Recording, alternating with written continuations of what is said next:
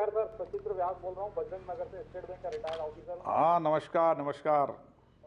Sir हमारी society से हम लोग सौ से डेढ़ सौ पैकेट रोज बनाकर भेज भेज रहे हैं पुलिस थानों में। जी जी। मेरी पुत्री जो इस वक्त पाँच के पास नंबर है उसने भी एक लाख इक्यावन हज़ार की आर्थिक मदद भेजी जो मैं कलेक्टर साहब को व्यक्तिगत रूप से दिया आया हूँ। बहुत बहुत धन्यवाद। अंकल प्रणाम डॉक्टर नकुल विजय। हाँ क्या हाल है?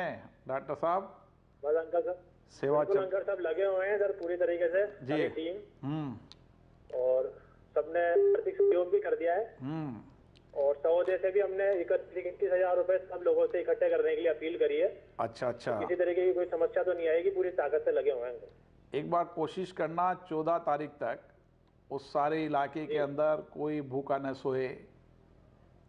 उसका ख्याल करना और जो बच्चे वहाँ कुनाड़ी साइड में पढ़ते हैं कोचिंग के हम्म विशेष रूप से जो पीजी में रहते हैं उनको भी चिन्हित करके उन बच्चों तक भोजन के अलावा भी और भी कोई उनको परेशानी हो तो उनका परेशानी का ध्यान रखना। भाई हूँ नीलेश भाई क्या हाल चाल है?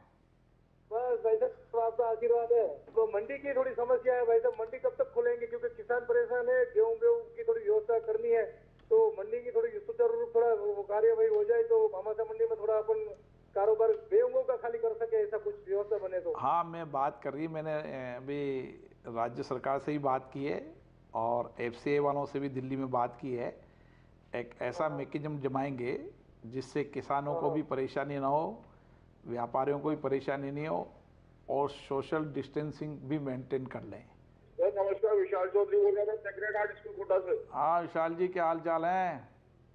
बहुत बढ़िया साहब मेहरबानी आपकी।